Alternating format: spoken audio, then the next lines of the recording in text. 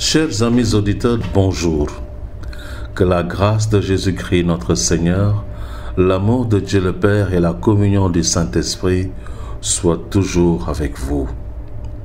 Votre web radio se propose de vous accompagner tout au long de ce carême avec une série d'enseignements à travers les interventions sur des thèmes précis de plusieurs prêtres, religieux et laïcs.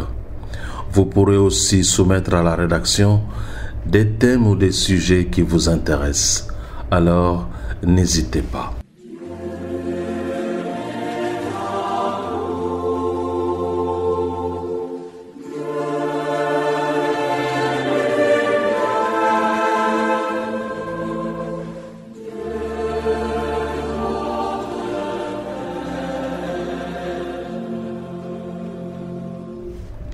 Pour commencer, nous nous arrêtons aujourd'hui sur l'événement qui marque la journée, vous l'aurez bien deviné, le Mardi Gras. Marqué par le carnaval dans les écoles, les paroisses et autres lieux publics et de déguisement de toutes sortes la veille du mercredi des cendres, début du carême. Quelles sont les origines et les traditions du Mardi Gras? Y a-t-il un lien entre le Mardi Gras et le carême? Peut-il avoir une signification spirituelle pour le chrétien? Ce sont là, chers amis, autant de questions auxquelles nous allons répondre au cours de cette émission. D'abord, les origines du Mardi Gras. Les origines du Mardi Gras sont à la fois païennes et religieuses. Sa date varie d'année en année car elle est fixée par rapport à la date de Pâques qui est elle-même une fête mobile. Elle peut se situer au mois de février ou au début du mois de mars, mais tombe bien entendu toujours un mardi et précède la fête de Pâques de 47 jours. Dans l'Antiquité romaine, le calendrier commençait au mois de mars de façon à faire coïncider le début de l'année et le renouveau de la nature. Ainsi, de grandes fêtes marquaient cette période de calendrier de mars. Par la suite, les populations christianisées continuèrent de célébrer la fin de l'hiver à travers cette fête du Mardi Gras. Mais alors, quels sont ces liens avec le carême chrétien Ou alors, quelles sont les origines chrétiennes du Mardi Gras? Il faut savoir que le début du carême est précédé du Mardi Gras. Ce jour est appelé gras en référence aux aliments considérés comme riches comme le beurre, les œufs, la viande. Et au jour du Mardi Gras, les excès sont donc permis aussi bien dans la consommation de nourriture que dans l'apparence vestimentaire. Signalons que le carême, période de jeûne, de privation, d'austérité, de purification qui dure 40 jours, est pour les chrétiens un temps de préparation de la grande fête de Pâques. Il commence le mercredi des cendres. Les traditions festives du Mardi Gras. D'où viennent les déguisements et les crêpes? D'abord, le carnaval et les déguisements. Dans certaines régions, comme dans beaucoup de pays lusophones, dont le Brésil, l'Angola, le Mozambique ou encore plus près de chez nous, la Guinée-Bissau, le carnaval est une véritable institution. Il peut durer plusieurs jours, voire plusieurs semaines, et a lieu généralement entre l'Épiphanie, le 6 janvier, et le Mardi Gras. Mais là où il n'y a pas la tradition du carnaval comme chez nous au Sénégal, il existe la coutume de déguiser les enfants et de les faire défiler dans la rue ou au niveau des écoles.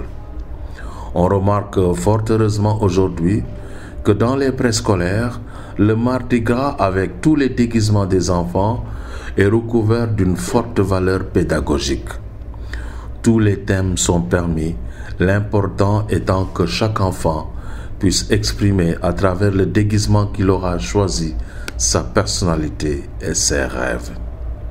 Mais il faut se rappeler qu'au Moyen Âge, les déguisements du Mardi Gras permettaient non seulement de s'amuser, mais aussi de transgresser les interdits de l'ordre social. C'est ainsi que les pauvres pouvaient s'habiller en riches les hommes s'habillaient en femmes, des laïcs s'habillaient en religieux, des civils en policiers ou gendarmes, et vice-versa. Ainsi, si votre enfant vous réclame un déguisement qui vous paraît être une inversion de la réalité, ou si vous rencontrez une jeune fille bien connue se mettre en robe de religieuse ou un jeune homme en soutane de prêtre, ne vous inquiétez pas, c'est juste le mardi gras.